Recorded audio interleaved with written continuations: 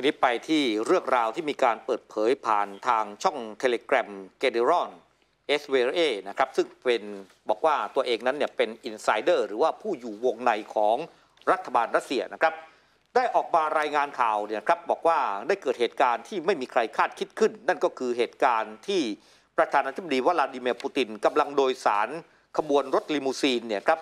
ซึ่งเป็นขบวนรถสำรองสำหรับประธานาธิบดี เดินทางกลับที่พักแล้วปรากฏว่าถูกโจมตีนะครับขบวนรถสำรองของประธานาธิบดีประกอบไปด้วยรถกันกระสุน 5 คัน และเจ้าหน้าที่รักษาความปลอดภัยจะโดยสาร 1 ใน 5 คันดังกล่าวด้วย ผู้สื่อข่าวรายงานนะครับว่าขบวนรถสำรองซึ่งปูตินเนี่ยโดยสารถูกโจมตีระหว่างเดินทางไปที่พักเพียงไม่กี่กิโลเมตร โดยรถโดยโดยรถติดตามประธานาธิบดีคันแรกนั้นเนี่ยถูกรถพยาบาลนั้นวิ่งเข้ามาขวางนะครับ ส่วนรถติดตามประธานาธิบดีคันที่ 2 ขับวนนะฮะจนเครื่องยนต์ขัดข้องนะครับ ในขณะที่รถคันที่ 3 นั้นเนี่ยครับก็คือเป็นรถที่ผู้นำของรัสเซียนั้นเนี่ยโดยสารมาก็เกิดการการขัดข้อง เช่นเดียวกัน มีเสียงดังขึ้นเนี่ยทางด้านข้าง พร้อมกับควันคุ้งหนาทึบนะฮะด้านล้อหน้าซ้าย แต่ว่าคนขับนั้นเนี่ยก็ยังพารถคันดังกล่าวนั้นเนี่ยออกจากเหตุการณ์ดังกล่าว แล้วก็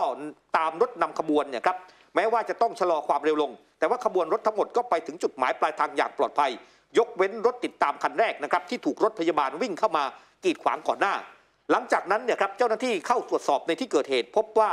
ในตำแหน่งคนขับรถพยาบาลคันดังกล่าวนั้นเนี่ยสุดท้ายเนี่ยนะมีผู้ชายนั้นกลายเป็นศพอยู่ด้วยนะครับผู้สื่อข่าวรายงานต่อว่าการสอบสวนเหตุการณ์ดังกล่าวและข้อมูลทั้งหมดเกี่ยวกับเหตุการณ์เนี่ยนะถูกจัดเก็บเป็นความลับ และผู้เกี่ยวข้องทั้งหมดได้รับการเตือนผลพวงที่ตามมา หากมีการเผยแพร่ข่าวนะครับ ขณะที่หัวหน้าฝ่ายรักษาความปลอดภัยส่วนบุคคลของประธานาธิบดีวลาดิเมียร์ปูติน และเจ้าหน้าที่รักษาความปลอดภัย อีกหลายคนถูกพักการปฏิบัติงาน และถูกควบคุมตัวไปสอบสวนเกี่ยวกับเรื่องนี้นะครับ แต่ว่าท้ายที่สุดแล้วเนี่ยทุกคนนั้นก็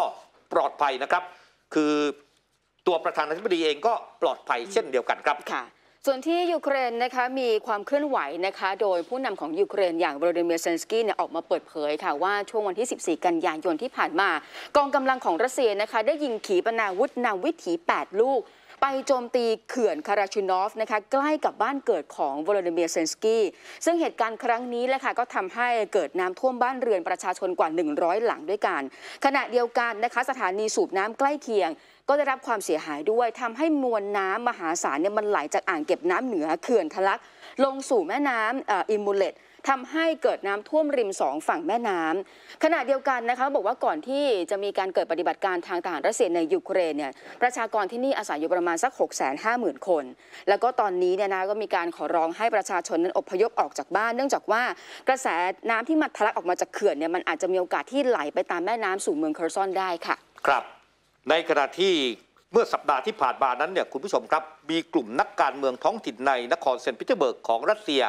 ได้ออกมาเรียกร้องให้ประธานาธิบดีวลาดิเมียร์ปูตินนั้นเนี่ยครับถูกขับออกจากตำแหน่งล่าสุดนั้นบอกว่าพวกเขามีแนวโน้มเนี่ยที่จะถูกยุบสภาเขตสมอลนินสโกเย่นะครับหลังศาลมีคำตัดสิน ทางด้านนายกีนิกิตายูเฟเรฟหนึ่งในสมาชิกสภาเขตดังกล่าวเนี่ยระบุว่าผู้พิพากษาตัดสินว่าการประชุมสภาที่ผ่านมาหลายครั้งเป็นโมฆะเปิดทางให้ผู้ว่านครเซนต์ปีเตอร์เบิร์กเนี่ยยุบสภาเขตได้ ขณะที่ดับบิตรี ปันลูก้าสมาชิกสภาอีกคนนั้นก็ออกมาเปิดเผยนะครับว่าศาลได้ตัดสินเนี่ยปรับเป็นเงินเนี่ย47,000 รูเบิลหรือว่าราวๆ 28,000 บาทในข้อหาทำให้ทางการเสื่อมเสียชื่อเสียง โดยเรียกร้อง โดยจากการเรียกร้องเนี่ยถอดถอนประธานาธิบดีวลาดิเมียร์ปูตินออกจากตำแหน่งนะครับ ส่วนสมาชิกสภาเขตสมอนินสโกเย่มีกำหนดจะปรากฏตัวต่อศาลนะครับเมื่อวันที่ 15 กันยายนที่ผ่านมา กลุ่มสมาชิกสภาเขตดังกล่าวยื่นคำร้องขอสภาผู้แทนราษฎรหรือว่า สภาดูมาเนี่ยครับเพื่อตั้งข้อหากบฏกับทางด้านประธานาธิบดีวลาดิเมียร์ปูติน และให้สภานั้นปลดออกจากตำแหน่ง โดยให้เหตุผลว่าเกิดการสูญเสียทางทหารของรัสเซียในยูเครน และมีความเสียหายต่อสภาพเศรษฐกิจ ที่ทางด้านประธานาธิบดีวลาดิเมียร์ปูตินนั้นก่อจากมาตรการที่ถูกชาติตะวันตกนั้นคว่ำบาตรนะครับ สมาชิกสภาเปิดเผยว่าผู้แทนเทศบาลเนี่ย 65 คนจากนครเซนต์ปีเตอร์เบิร์ก และก็กรุงมอสโก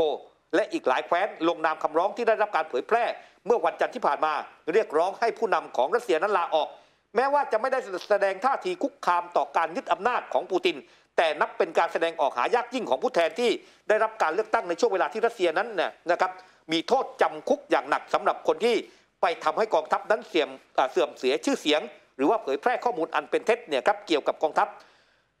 ในขณะที่ทางด้านดมิตรีปาลูก้าเนี่ยครับก็ออกมาบอกกับผู้สื่อข่าวนะครับว่าคำร้องของกลุ่มมีเป้าหมาย ไม่เพียงแต่สำหรับชาวรัสเซียที่มีแนวคิดเสรีนิยม แต่ยังรวมถึงคนพักดีต่อทางการ ที่เริ่มมีข้อสงสัยเมื่อเห็นว่ากองทัพรัสเซียนั้นเนี่ยไม่ประสบความสำเร็จในการต่อสู้กับกองทัพของยูเครนนะครับ แน่นอนว่าสิ่งที่เกิดขึ้นนั้นเนี่ยก็บอกว่า พวกเขาเองนั้นเนี่ยจะเดินหน้าในการที่จะดำเนินการเรื่องดังกล่าวนะครับ ก็บอกว่า ตอนนี้เนี่ยมีคนหลายคนนั้นเนี่ยครับที่เห็นด้วยในการที่จะถอดถอนประธานาธิบดีวลาดิเมียร์ปูตินนั้นพ้นจากตำแหน่งนะครับ แต่ว่าที่ผ่านมานั้นเนี่ยครับของรัสเซียก็มีกฎหมายนะครับว่าผู้ใดก็ตามที่ทำให้กองทัพนั้นเสื่อมเสียชื่อเสียงก็มักจะถูกดำเนินคดีนะครับ แล้วก็หากเป็นการดำเนินการครั้งแรกนั้น ก็จะถูกปรับนะครับ ในขณะที่ก่อนหน้านี้อเล็กเซ่โกรินอฟสมาชิกสภาเขตในกรุงมอสโก ประเดิมโทษจำคุกเนี่ยเป็นคนแรก เป็นเวลา 7 ปี เมื่อเดือนกรกฎาคมที่ผ่านมา หลังถูกตัดสินว่าไปเผยแพร่ข้อมูลอันเป็นเท็จ และมีนักข่าวแล้วก็ฝ่ายค้านอีกหลายคนถูกตั้งข้อหาและถูกจำคุกด้วยเช่นเดียวกันครับ